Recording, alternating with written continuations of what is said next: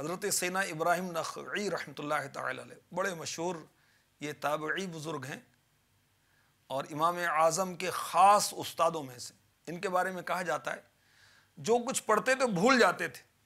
एक रात सरवर कायनात सल्लल्लाहु अलैहि वसल्लम की ज़्यारत की। अर्ज़ की, या रसूलुल्लाह, जो पढ़ता हूँ, भूल जाता हूँ। स्टूडेंट गौर करें, तलबा गौर करें, मदरसे के, जामिया के, दुनियावी तालीम हासिल करते हैं, वो भी गौर करें।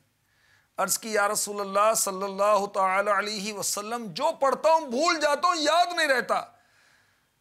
अल्लाह के महबूब सल्लल्लाहु अलैहि वसल्लम ने फरमाया, इन चीज़ों की पाबंदी करो। कम खाओ, कम सो।